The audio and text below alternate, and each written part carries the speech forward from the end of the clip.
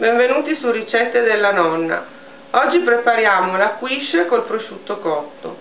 Ingredienti sono prosciutto cotto a fette, piselli, porri tagliati a rondelle, provola tagliata a dadini, formaggio grana grattugiato, uovo, sale, olio extravergine di oliva, pepe e una confezione di pasta sfoglia rotonda versiamo l'olio extravergine di oliva in una padella antiaderente e uniamo il porro tagliato a rondelle e lo facciamo insaporire per qualche minuto. Quindi uniamo i piselli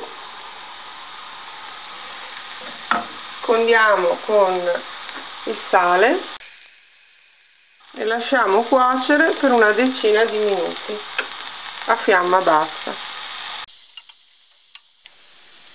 Mentre aspettiamo che i porri e i piselli arrivino a cottura, rompiamo l'uovo in una terrina, lo condiamo con il pepe e il sale e lo sbattiamo.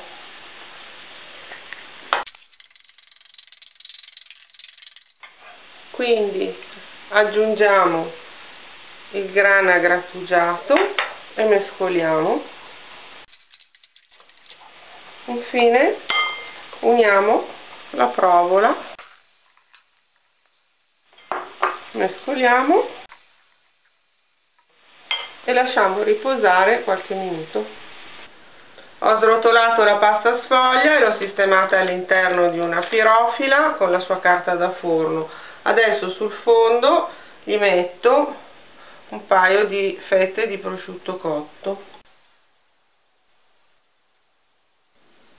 I 10 minuti sono trascorsi e il porro e i piselli sono pronti. Adesso li trasferiamo nella ciotola con l'uovo e il formaggio e mescoliamo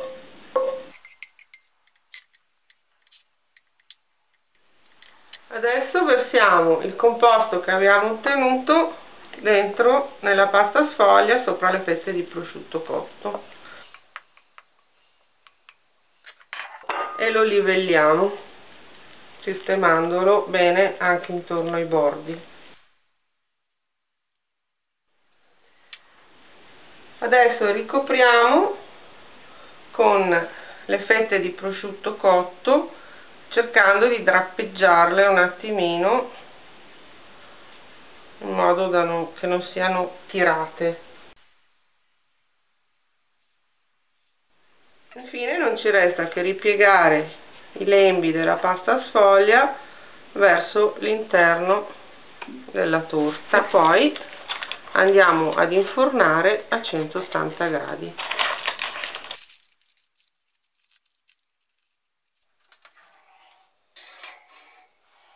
Dopo 35 minuti di cottura la nostra profumatissima quiche è pronta, adesso la lasciamo riposare 5 minuti e poi la trasferiamo sul piatto di portata.